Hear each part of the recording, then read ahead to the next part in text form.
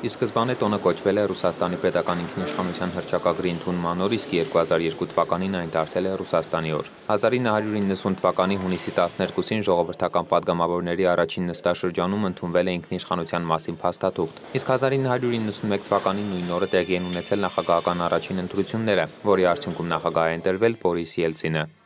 Անցած քառորդ դարում ինչ դժվարություններ եւ խոչընդոտներ որ եղել են, մեր երկիրն ու ժողովուրդը դրանք հաղթահարել է եւ այսօր է շարունակում ենք տնտեսական զարգացումն ու առաջընթացը։ Ռուսաստանը հազարամյա պատմություն ունեցող երկիր է, որն ունի անծայրացիր հողեր, գեղեցիկ բնություն։ Ժամանակակից աշխարհը արագորեն փոխվում է։ Ռուսաստանի Դաշնությունը այդ գործընթացում արժանի տեղ է զբաղեցնում։ Այսօրը տոնում ենք հնագույն պետություններից մեկում՝ եղբայրական Հայաստանում։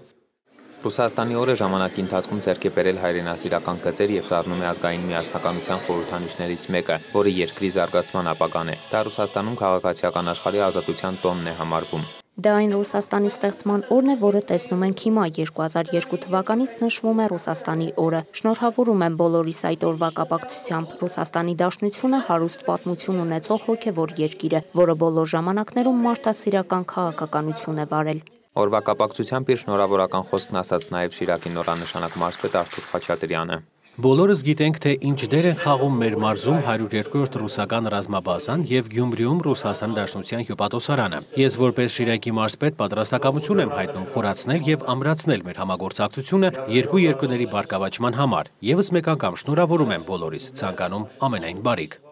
Հայաստանի եւ Ռուսաստանի միջև համագործակցությունը տարերի պատմություն ունի եւ դրա վկայությունն է նաեւ այս միջոցառումը, որին հրավիրվում են քաղաքի եւ Հայաստանի տարբեր շրջանների կառույցների ներկայացուցիչները տոնը միասին նշելու նպատակով։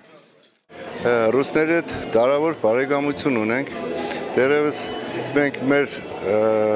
հասակավոր մարդիկ կարող են մանգուց հիշել, որ ռուս զինվորը միշտ սիմվոլ է եղել մեզ համար, խորտանիշ է եղել բարության, մարդկային առումներով բոլոր եւ մենք այսօր մեծ սիրով եկել ենք մասնակցելու այսօրվա գեղեցիկ տոնին, շնորհավորելու մեր ռուս ընկերներին